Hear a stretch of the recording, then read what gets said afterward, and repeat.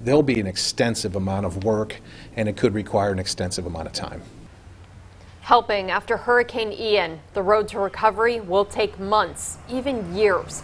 More local people are making the long trip south tonight to help those in need after Hurricane Ian ripped its way across Florida. First News senior reporter Jerry Ricciuti talked to those providing assistance as well as people now dealing with the damage. Valley native Lisa Wager and her husband Michael captured these images Wednesday as Hurricane Ian was roaring through Punta Gorda, Florida.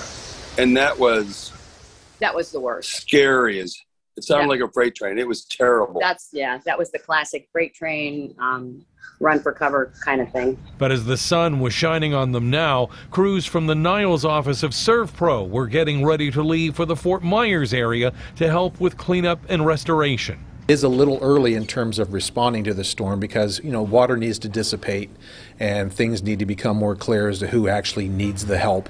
This is the first wave of what the company calls large loss teams heading south, and more will follow later. Standahar says their jobs won't be all that different from what they did earlier this month when heavy rains flooded parts of Boardman, only on a much larger scale. It's a lot of um, uh, extracting of water, it's a lot of drying equipment, um, it's a lot of sometimes uh, removing uh, contaminated or, or wet materials from buildings. As the local crews head to Florida, they may not know exactly what their job will entail until they arrive. Their eventual customers may not know what they need either. homeowners that are wondering if they do have insurance coverage, if they do have the funds to rebuild.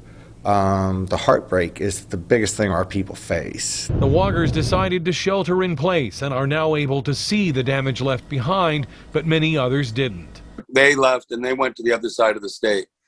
Um, but they're going to come back to their own destruction. Jerry Ricciuti, WKBN 27 First News.